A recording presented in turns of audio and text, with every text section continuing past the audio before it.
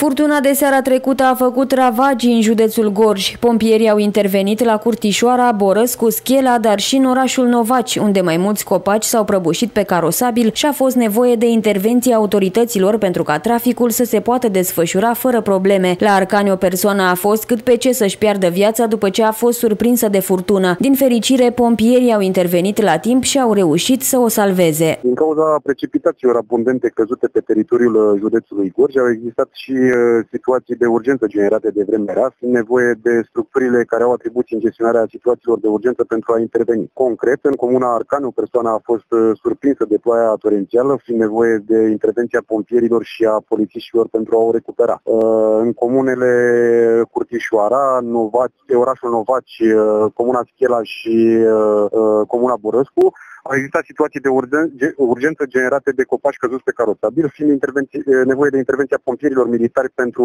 degajarea acestora și reluarea traficului rutier în condiții normale. Și la Târgu Jiu au fost probleme. Furtuna a doborât acoperișurile a două case de pe Alea Zorilor, respectiv strada Petrescu. Totodată iluminatul public a fost afectat pe bulevardul Ecaterina Teodoroiu și în zona Bârsești. Au mai căzut creni și copaci în parcul central, însă angajații edilitari au acționat și au curățat aleile. Au fost probleme care au fost remediate în mare parte a seară, chiar și în această dimineață, probleme pe rețeaua de alimentare cu curent pentru iluminatul public, pe Ecaterina Teodoroiu și pe zona Bârsești. Au fost, au fost remediate de către de, cei de la CEZ. Au fost câteva creni și câțiva copaci căzuți, inclusiv în parcul central, pe care cei de la Edilitara uh, i-au luat și în momentul de față lucrurile sunt uh, rezolvate. Mai sunt două, două locuințe la care, în urma furtunii, uh, a fost burat acoperișul, una pe strada Zorilor, cealaltă pe Cezar Petrescu. Urmează, am făcut constatarea la fața locului aseară, urmează ca în perioada imediat următoare să promovăm uh, o dispoziție prin care să alocăm niște ajutoare de urgență pentru, măcar pentru materiale, pentru a-și putea reface acele, acoperișul la cele două case.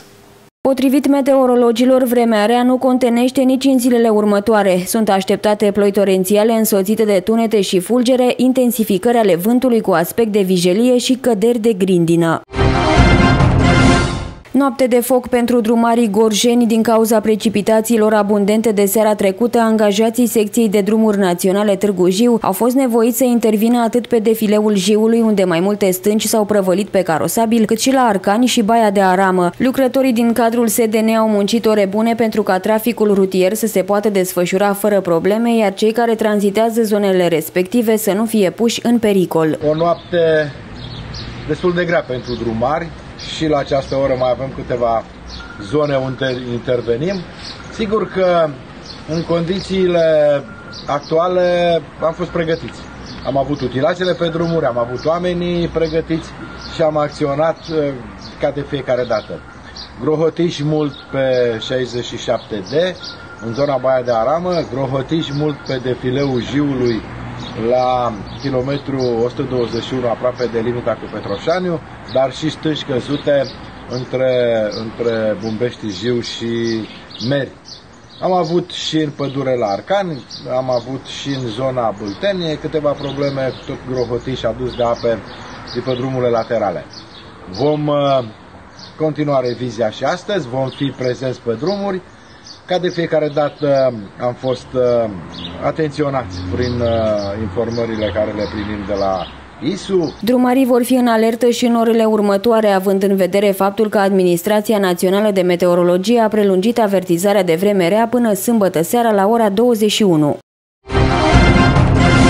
Polițiștii din Rovinari acuzați că sfidează legea. Un cetățean din Plopșoru susține că aceștia ar fi făcut abuz de funcția pe care o dețin și l-au luat peste picior, deși bărbatul în cauză a fost agresat în repetate rânduri de un consătean care ultima dată l-a bătut chiar în centrul orașului Rovinari, după ce a făcut cumpărăturile și se îndrepta spre mașina pe care o avea parcată în zonă. Gabriel Nănuț povestește că imediat după incident a cerut ajutorul autorităților, dar nu a fost băgat în seamă. Ba mai mult a fost jignit de un polițist care ar fi trebuit de fapt să intervină pentru aplanarea conflictului. După ce a fost bătut măr, bărbatul a primit și o amendă de 200 de lei. În momentul în care m-am urcat în mașină, am fost lovit de persoana respectivă care e din sat, din, din sat din la mine, din comună de la mine, la 10 km de mine și de fiecare dată persoana respectivă uh, unde mă, mă prinde, mă amenință că mă omoară, că nu se lasă până nu mă omoară și uh, în momentul acela când m-am, uh, eu când m-am să pun plasa ma- mașină să plec la serviciu, m-am fost lovit, am sunat la 112, a venit Bercea ăsta de polițai de acolo și ne-a era un băruleț în față. Nu s-a luat nicio măsură acolo în fața, în fața, acolo unde s-a întâmplat, în fața barului, să întrebe oamenii de acolo din terasă, domne, ce se întâmplă? Cum fu bătut băiatul ăsta? Nimic. Pur și simplu a venit acolo, care-i treaba, dați buletinele, de, a, de voi sunteți din, uh, din Ploușorul. Lasă că vă arăt eu, vă ia mama dreacă, vă duceți la acolo, la Ploușorul și faceți acolo scandal. La Rovina nu se sună la 112, nu se sună la 112. Dacă vroiai să veneai la poliție, mă chemai, păi când să mai chem, pentru că persoana respectivă o lua la fugă și eu nu mai puteam de dureri lângă mașină. Aveam dureri, mă durea în partea dreaptă unde m-a lovit, cu piciorul. Eu nu puteam să, să mai merg la poliție. Haideți încă, hai la secție. Și la am mers, uh, am mers acolo și mi s-a făcut proces verbal uh, de contravenție cu suma de 200 de lei pentru mine, 200 pentru mine, 200 pentru uh, care m-a bătut. Bărbatul de 37 de ani susține că este terorizat de o bună perioadă de timp de consăteanul său care l-a agresat ultima dată în apropierea pieței din Rovinari. Acesta spune că agresorul îl urmărește și îl amenință că îi va da foc la casă, totul pentru că îl consideră vinovat de faptul că polițiștii au aflat că circulă zilnic cu autoturismul personal, deși nu deține permis de conducere. Am înțeles acum că el nici nu posedă permis de conducere. Și din cauza asta s-a și luat de mine că a zis că eu am sunat la 112, nu, de fapt am sunat, am anunțat poliția că el nu are permis de conducere, conducere și l-a prins fără permis de conducere și a, i-a uh, făcut dosar penal. Am depus uh, plângere și la poliție, la Rovina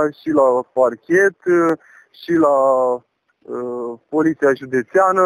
Vreau să merg până să face dreptate. Să merg și la București, să vă merg un, până să face dreptate. Am ajuns din satul meu de acolo, din munca mea, din munca părinților care părinții mei locuiesc acolo și locuiesc cu părinții mei să plec din casa mea, din casa lor care au muncit o viață întreagă, sunt disperat și eu și familie să plecăm de acolo că nu avem încotro pentru că s-a format un clan de oameni care nu putem să mai, să mai trăim acolo. Orice se întâmplă, orice, pe mine. Aruncă pe mine nu am marturi, nu am nimic decât că am uh, montat camere de supraveghere pentru că am și eu niște dovezi, dar în ultimul timp nu se mai ia acolo în zona mea, se ia pe unde mă prind. Salariatul CE Oltenia și-a luat certificat medico-legal de la Serviciul de Medicină Legală Gorj, din care reiese că necesită între 5 și 6 zile de îngrijiri medicale. Reprezentanții IPJ Gorj au confirmat cazul, însă au refuzat să ofere un punct de vedere oficial cu privire la cele constatate.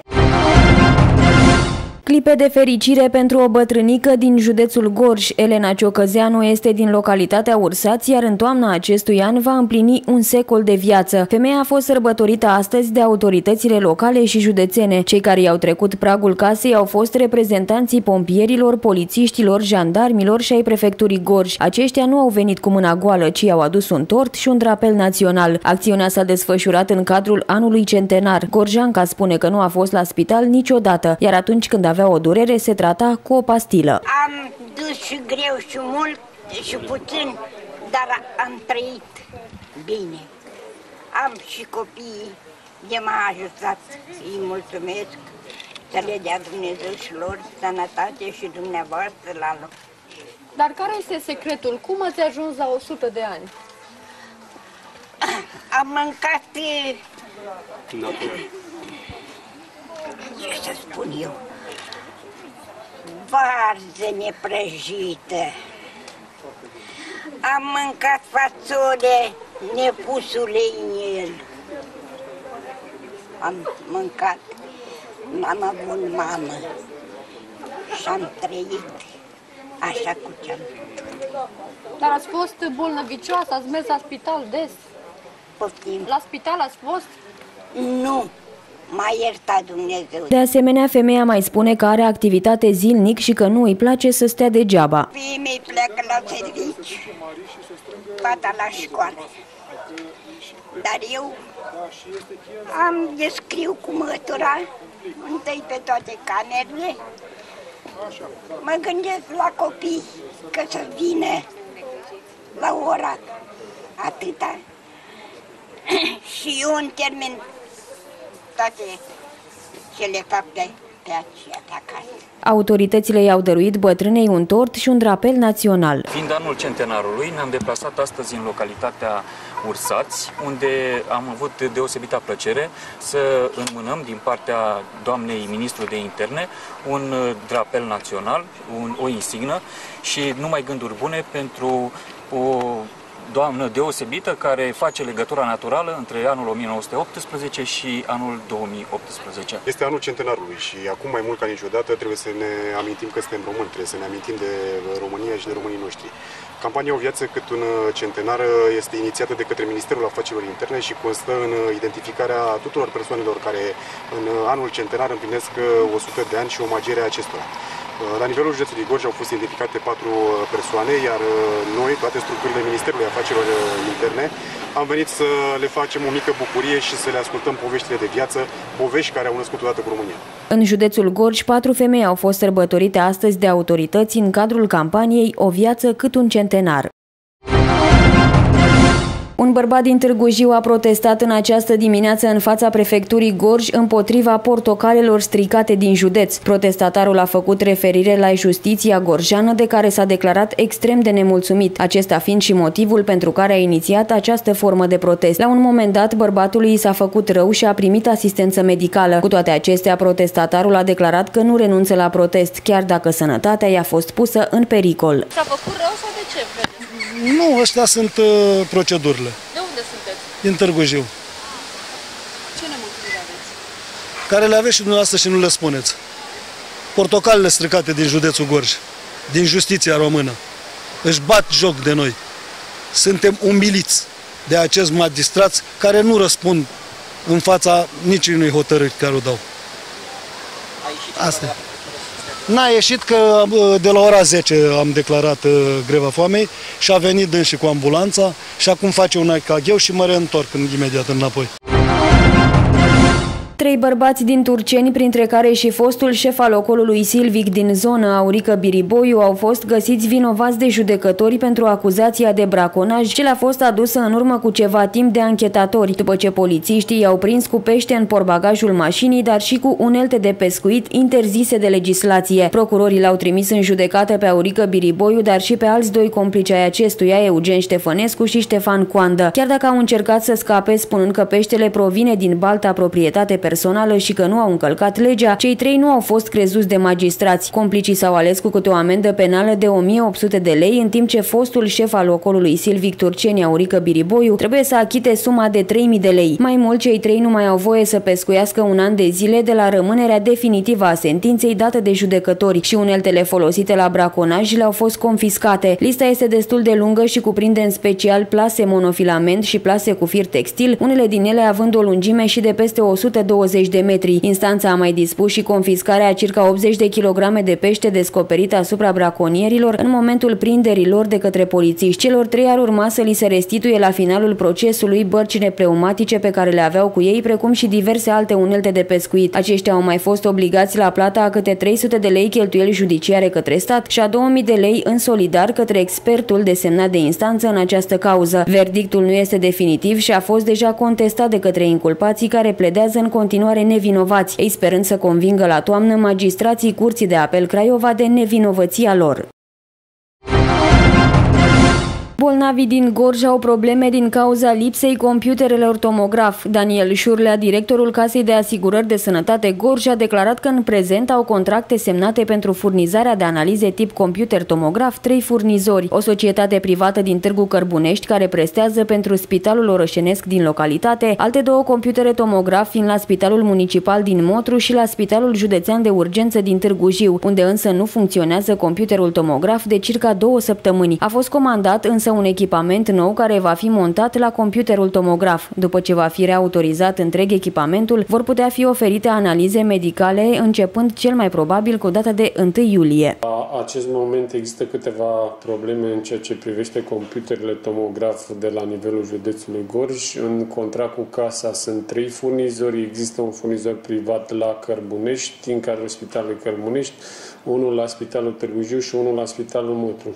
Cel de la Spitalul Târgu Jiu, după cum se știe de vreo două săptămâni, nu merge. Din discuțiile portate cu dumnealor, uh, deja au comandat tubul, trebuie să vină în țară săptămâna aceasta, o să facă din mersurile la Cenecan în cursul săptămânii viitoare pentru autorizare și sperăm ca uh, începând cu data de 1 iulie să fie funcțional. Și la spitalul din Motru, computerul tomograf este defect, fiind nevoie de fonduri pentru reparații. La unitatea medicală din Târgu Cărbunești este încă în funcțiune computerul tomograf, însă nu pot fi furnizate servicii pentru persoane cu greutate mai mare de 90 de kilograme. Președintele CASE Gorj a menționat că la Târgu Jiu va fi disponibil de la 1 iulie un aparat remene nou. De asemenea, se fac demersuri pentru achiziția unui computer tomograf nou prin intermediul Ministerului Sănătății. În ceea ce privește CT-ul de la Motru, la fel s-a defectat și acolo tubul uh, zilele acestea. Trebuie să facă și ei procedura, probabil că o să dureze tot cam așa, cam o lună. I-am întrebat dacă au bani disponibili pentru achiziționarea tubului, că e destul de scump. Au spus că ar avea bani disponibili. Singurul funcțional e la furnizorul privat de la Cărbunești, dar din păcate și acolo este o problemă pentru că nu se pot uh, face CT-uri pentru persoane cu o greutate mai mare de 95 de kilograme. Deci el nu se suportă uh, să se urce pe aparatul respectiv un pacient cu greutate mai mare de 95 de kilograme. Sperăm ca să se remedieze cât de curând. După cum știți, există demersul și la Spitalul Județean să se achiziționeze un CT nou. O să vedem. Ca și veste bună, vă pot spune că probabil de săptămâna viitoare și RMN-ul o să fie funcțional chiar și în contract cu casa, dacă nu cel mai târziu de la 1 iulie.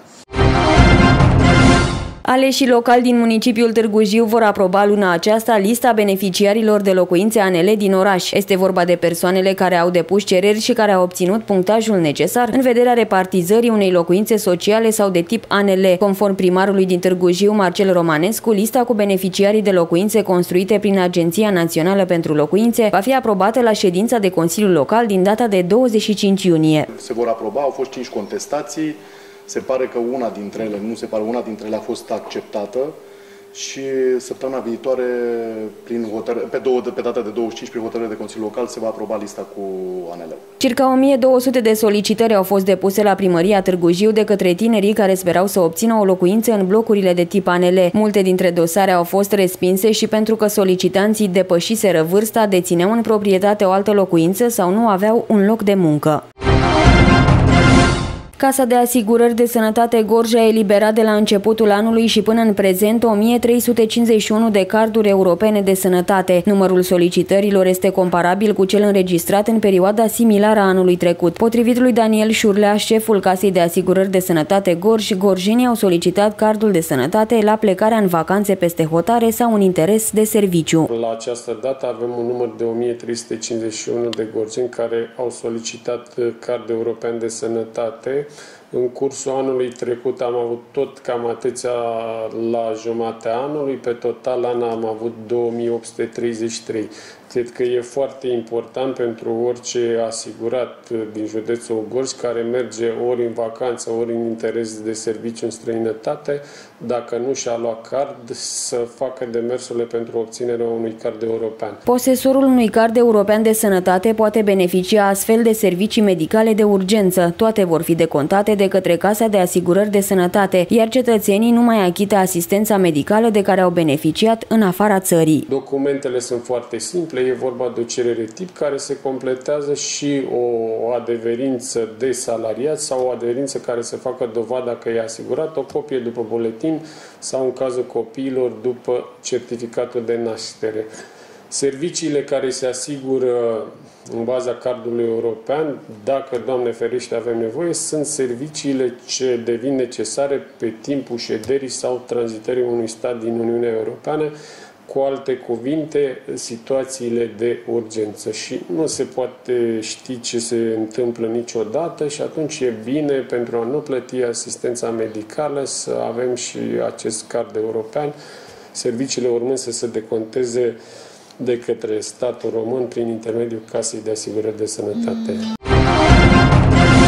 Prefectul de Gorj Ciprian Florescu a făcut public faptul că gradul de colmatare a lacului de la Vădene a scăzut în ultimii ani. Astfel, procentul de colmatare ar fi ajuns la 64% după ce în trecut era de peste 80%. Ciprian Florescu a precizat că au fost utilizate anumite procedee pentru eliminarea mâlului din lac și astfel gradul de colmatare ar fi scăzut. Nivelul de colmatare al lacului de acumulare uh, scade deci procentul de colmatare scade, există procedee pe care ei le folosesc, mai ales atunci când uh, vin apele mari, când vine viitura, debitul de apă este mai mare și atunci intervin cu aceste proceduri care au menirea de a decolmata parțial, evident, pentru că procedeul este extrem de dificil, extrem de greoi și eficiența sa uh, nu este vizibilă, dar uh, cuantificând ceea ce s-a întâmplat în ultimii ani, se pare că ar fi scăzut undeva, gradul de colmatare ar, ar fi scăzut undeva la 64%. Reprezentantul guvernului în teritoriu a spus că este nevoie de decolmatare a lacului de la Vădeni pentru a crește zona de siguranță și pentru a evita producerea de viituri mari pe râul Jiu. Florescu susține că într-un an sau doi se vor vedea și efectele activității de decolmatare, care este posibilă doar la un debit foarte mare al apei. Alte lucrări sunt uh, extrem de ample, de costisitoare și aproape imposibil de realizat.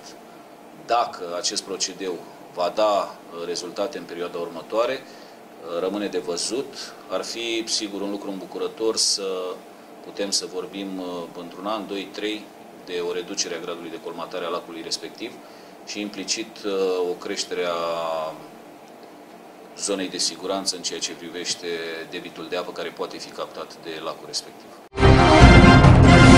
Averse descărcări electrice și intensificări ale vântului, asta ne așteaptă în următoarele trei zile în cea mai mare parte a țării. Meteorologii au restrâns numărul județelor în care vor cădea precipitații abundente, dar au prelungit avertizarea meteo de vreme rea până sâmbătă la ora 21. Județul Gorj rămâne în continuare sub avertizare de ploi însemnate cantitativ și vijelii. Astăzi în regiunile sud-vestice, centrale, nordice, nord-estice și parțial în cele vestice, precum și în zona de munte, valorile termice vor fi în scădere față față de ieri, iar vremea se va menține instabilă, cu norări temporar accentuate, averse, descărcări electrice, intensificări ale vântului și cu aspect de vijelie și izolat căderi de grindină. Ploile vor mai avea caracter torențial, astfel că se vor cumula cantități de apă de peste 25 de litri pe metrul pătrat și izolat peste 40-50 de litri pe metrul pătrat. În restul țării, o vreme deosebit de caldă și izolat indicele temperatură umezeală va mai putea atinge și depăși ușor pragul critic de 80 de unități. Temperaturile maxime se vor situa între 22 și 34 de grade.